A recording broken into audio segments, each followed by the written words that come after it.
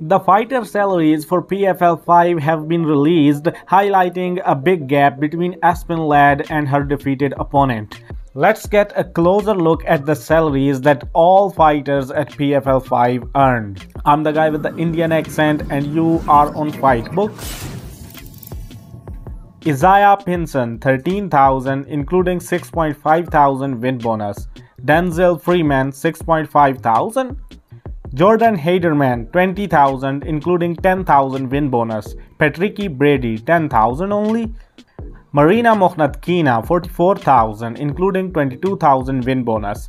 Evelyn Martins 13,000 only.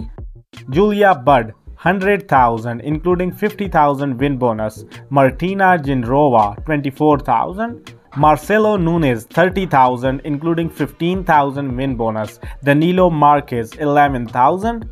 Aspen Ladd 100,000 including 50,000 win bonus. Karolina Sobek 8,000.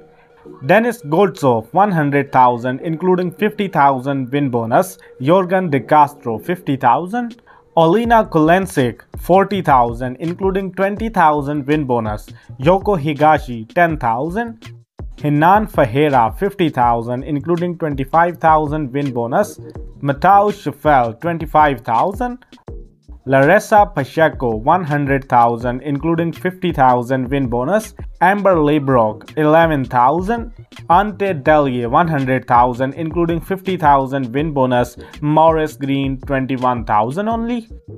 It's always good to see fighters earning six figures in the fight game. Hopefully, as PFL continues to grow, that trend will become even more frequent.